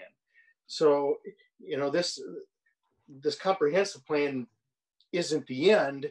It's kind of like the beginning but we need to we need to kind of move forward and, and get it finished and and um, uh, this staff like mike has said has spent a great deal of time on it it's a very good document um, i think it's something that we can be proud of um, when the, the final product comes out and we read it, are we going to necessarily, each and every one of us necessarily going to agree with everything in it? probably not. We're probably going to say, gosh, why did, why did we miss this? We, we should have had this in it. But it's going to be a very good document. And there are a lot of people have worked very hard on it from staff to committees. And uh, I think in, in the end, it's going to be something that we can all be very proud of and something that we need to get done. This has been a very long process and, and we need to uh, culminate it here. Excellent, excellent, uh, and Ramsey. So anyone else who want to say anything? So, well, I'm economic development guy, so I think uh, I, I wanted to have a technology park. It isn't, uh, we are landlocked and, uh, but uh, what I see is, uh, is pretty good. And I think I will organize the chapter in the order of importance and uh, and that, that's what I would do. And there are lots, lot of verbiage which can be deleted. I think not a bad idea. So people like uh, Chris, short and crisp and to the point. And I think uh, you know a lot of those things, various plans, CLC plan, PRFC plan, they can they will all go in the appendix. If somebody wants more details, they're all there. So so so I think. Uh, yeah, so I'm quite happy the way it's going, and I'm sure that uh, Commissioner Kitty Tyson has made some points, and Kitty look at them too. There are things which we can do and things we cannot do. So, and that's where we have to somehow things we have to live with. So, okay, what do you want from us, Abby? Now, that is that's good enough. Um, I think so. Yeah, it sounded like everybody was supportive of incorporating the comments that we got from the committees and commissions for the time being. Oh, absolutely. Yep. Yep. Is that if somebody doesn't speak up now, otherwise uh, Abby's uh, the opinion. That and the list and, and the list of four things that Kurt sent, I, I think we all agree probably with that. He sent it today. Did you guys read it? I spent time reading your material, but I will read the others too. But in any case, uh, so yeah. What, what she's referring to is is mostly um, making sure that we protect industrial lands from retail uses. That was the memo she's referring to. Oh, okay. Yeah. Well, I don't think the retail is going yeah, good point. So anyway, what else do you want, Abby? So um, okay. I don't have any. I don't have anything else that we need at this time. Mark, did you have something? Okay. Well, yeah. So I heard your uh, Abby. You said that you heard that the commission members are comfortable with incorporating all the committee comments except for the first responders, and then Commissioner Tyson mentioned that people are comfortable with Kurt's additions. Is that a consensus of the commission?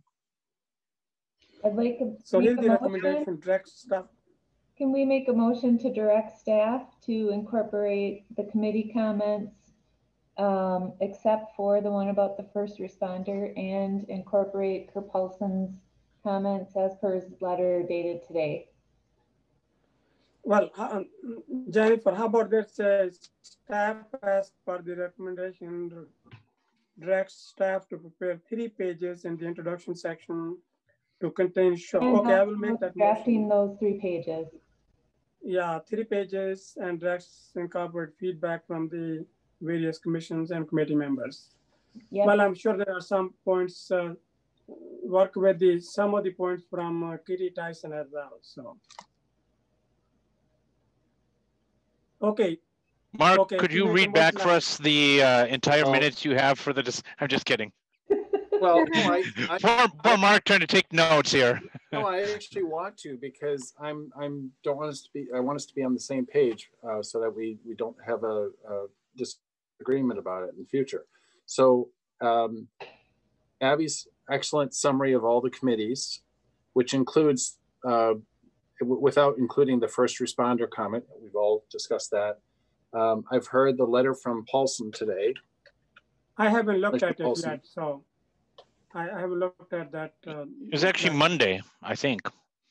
when when was that sent? Because I, yeah, I for whatever reason, don't seem to have gotten that.